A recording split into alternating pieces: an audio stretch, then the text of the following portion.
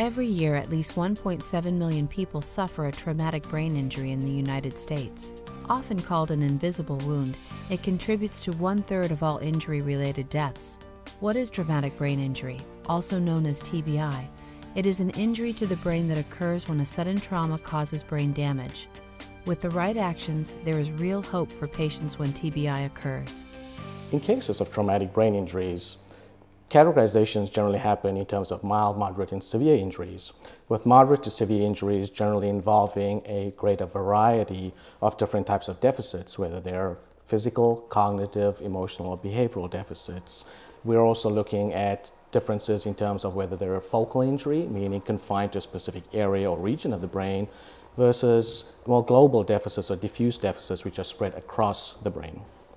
Traumatic brain injury is considered a silent epidemic because of the rate of incidence. On a national level, there's about 1.7 million people per year that suffer a brain injury. About 40% of those, or 600,000, actually occur in an automobile accident.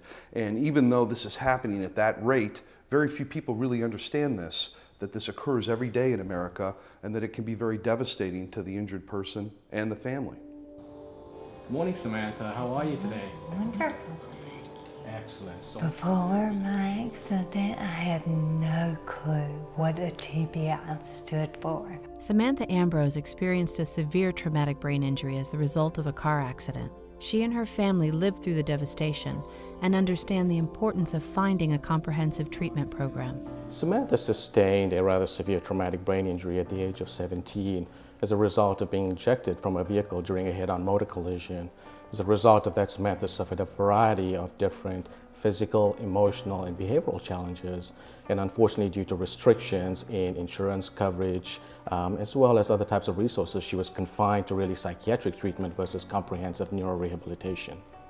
Well, presently in America, if you, uh, under your health insurance, you have severe limits in terms of the therapies that you can receive as a brain injured person. And, and it's even more so drastically limited under Medicaid and under Medicare. Specifically under Medicare, you're limited to $1,900 per year for therapies. And that's in contrast to in Michigan, where the doctor says this is the depth of therapy you need, and that may be persistent and aggressive for your lifetime. It was so odd seeing pictures of me in high school playing something that I could not tell my body to do again. I could not throw a softball as I did before. I could not run as I did. It was so hard. all right, great, Samantha. So now we've reviewed everything, set some goals for next week. So I'm gonna- After completing her acute rehab, she returned home only to experience many ongoing challenges. Samantha's family sought a more structured, formal treatment program at Neuro International. International was developed specifically to fill that void uh, that we found in the neurorehabilitation process to help clients get the services they need to prepare them to go home and live as independently as possible.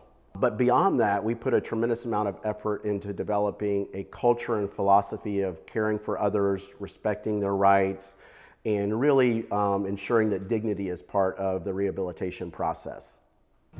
Once Samantha was able to access post-acute neurorehabilitation, she was able to have a comprehensive multidisciplinary team of clinicians, doctors, skilled therapists that really helped her address holistically the physical, the emotional, and the behavioral challenges that she was experiencing and help her achieve true personal and social independence.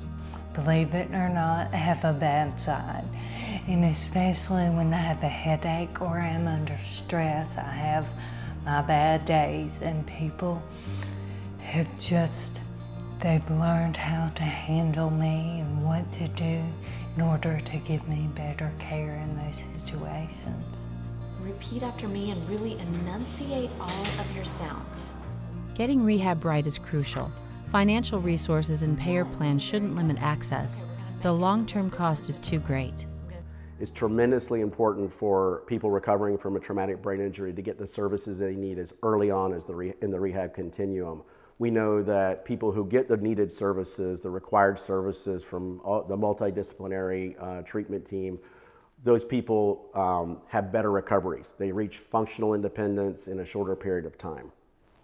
One of the biggest risks is really being confined to specific treatment options or lack thereof, specifically meaning treatment options at the post-acute level of care vary from program to program. Uh, there also tend to be a lack of consensus in terms of different post-acute programs in the approaches taken, for example, punitive models versus more collaborative and client-centered models. And by doing a program that is more client-centered, folks are able to have a more comprehensive treatment plan, a more dynamic treatment plan that really addresses what it is that that client needs versus what it is that is generically presented to that patient.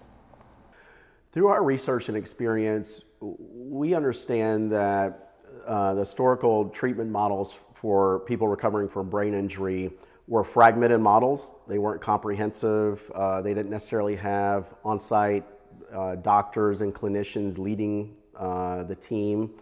Uh, we believe that someone recovering from a traumatic brain injury needs comprehensive multidisciplinary services provided in real life settings, family type environments, and we believe that if those services, comprehensive services, are provided in the right type of environment, that we can optimize outcomes and get someone home as quickly as possible. But not all cases of traumatic brain injury are as severe as Samantha's. In fact, 75% of all TBI are considered mild but still require treatment. I think it's important for patients, especially of mild traumatic brain injuries, to understand that there are a variety of subtle deficits that can sometimes present, whether they be deficits in cognitive abilities such as memory and attention or concentration, whether they be personality changes, emotional changes, most of which tend to be more pronounced in moderate to severe injuries. Not understanding that uh, these deficits have occurred within patients, oftentimes families may be unaware that they need constant aid to daily living, which would include prompting so that they do the right things, but also protection so that they don't burn down the house, self medicate, wander off, take the keys and go for a drive. You know, all of these protective measures are about honoring the fact that not even the patient nor the physicians or the family as a collective might necessarily understand these significant changes that have occurred in their brain. Treatment options at the post-acute level of care vary from program to program. And by doing a program that is more client-centered, folks are able to have a more comprehensive treatment plan, a more dynamic treatment plan that really addresses what it is that that client needs versus what it is that is generically presented to that patient. A comprehensive approach by qualified experts can make all the difference in recovery. Being here in Neuro has provided so many wonderful aspects to not only my personality, but everyone here at Neuro has helped me tremendously. At Neuro International, we're committed to helping our clients achieve independence. If you or a loved one has experienced a TBI, there is hope. For more information, visit us at neurointernational.com.